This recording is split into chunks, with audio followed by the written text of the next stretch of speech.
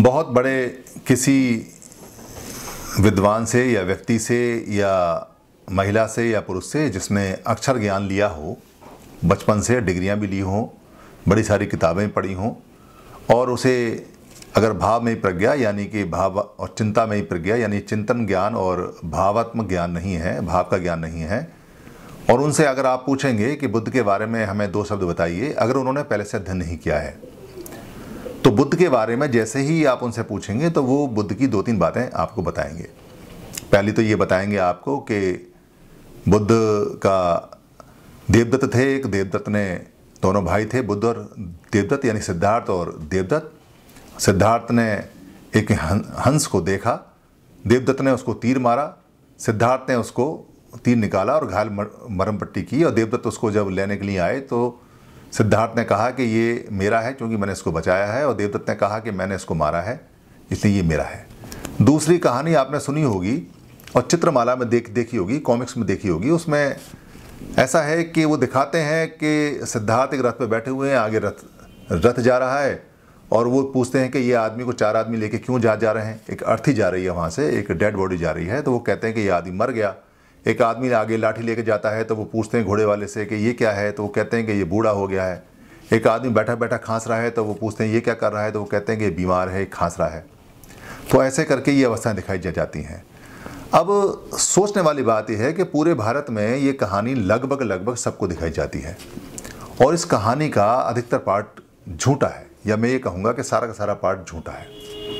क्योंकि सिद्धार्थ ग्यारहवें, जब ग्यारह साल के थे तो वो अपने खेतों में जाते थे और वहाँ पे वप मंगल उत्सव में जो धान बोने का उत्सव था, जो बड़े पैमाने पर वहाँ होता था, उस धान बोने के उत्सव में वो हल भी चलाते थे ग्यारह साल के। और वहाँ उन्होंने अपने स्वयं के मुँह से विनय पीटम में बताया हुआ है कि वो एक जम्बू के पेड़ के नीचे, जामुन के पेड़ के नीचे बैठ के उन्होंने पहली बार विपसना की। यही विपसना उनके ध्यान में बाद में आई। जब सब कुछ इन्फॉर्मेशन जितनी जानकारी थी, जब जितना ज्ञान था वो खत्म हो गया, तब उन्होंने वो याद करके अपना ज्ञान निकाला, ऐसा उन्होंने बताया भी है। पहली बात। दूसरी बात यह है कि वो राजकुमार सिद्धार्थ नहीं थे। वो कुमार सिद्धार्थ थे, क्योंकि राज का, राजा का या राज्य का वहाँ पे कोई मतलब नहीं था, वो गढ़ राज्य था। गढ़ का मतलब सभी चलते थे तो सिद्धोदन भी वहाँ पे राजा नहीं थे। और महल होने की जो कल्पना दिखाई जाती है और जो फ़ोटो में दिखाए जाते हैं कि महल हैं और रंग बिरंगे आभूषण वाले कपड़े हैं, वो सिर्फ़ चित्रकार की काल्पनिक कल्पना है, जिसमें वो खूबसूरत आज के हिसाब से बनाने की कोशिश करता है। क्योंकि महलों का या ईंट पकाने का या बड़े बड़े अट्टकाएँ बनाने का साधन उस समय नहीं थे। और उनके पास खेत ज़रूर थे, जो कहते हैं कि उन्होंने बहुत मेहनत करके खेत बनाए थे पत्थर वत्थर हटा के और एक हज़ार हल उसमें चला करते थे, एक साथ जब वो एक साथ धान की बुआई करते थे और सबसे बड़े वो वहाँ पे काश्तकार थे या खेतिया थे, यानी खेत के मालिक थे, और सबसे बड़े वहाँ के वो किसान थे। इसलिए साक्य का मतलब सब्ज़ी होता है, साक्य वंश थे, और साक्य वंश में सबसे बड़े वो साक्य के ज़मीन के, यानी खेतिए थे। ऐसा बताया जाता है। तो ये कहानी जो बचपन से हमारे दिमाग में डाली जाती हैं, और जो कहानियाँ हमें चित्रों में दिखाई जाती हैं, इस कहानी, एक कहानी को दिखा के सारा का सारा धम छुपा दिया। एक झूठी कहानी को दिखा के सारा का सारा बुद्ध छुपा दिया। बाबा साहब अंबेडकर ने भी इस कहानी का कहीं ज़िक्र नहीं किया है और ये कहानी कहीं त्रिपिटक में मिलती भी नहीं है। क्योंकि ये बड़े कमाल की बात है कि कोई व्यक्ति जो धम्म सिखा रहा है और जिसकी शब्दावली इतनी ज़बरदस्त है, भगवान बुद्ध की जो शब्दावली थी, जिसमें शब्द सबसे ज़्यादा थे, शब्द संग्रह सबसे ज़्यादा थे और कई भाषाओं को वो जानते थे।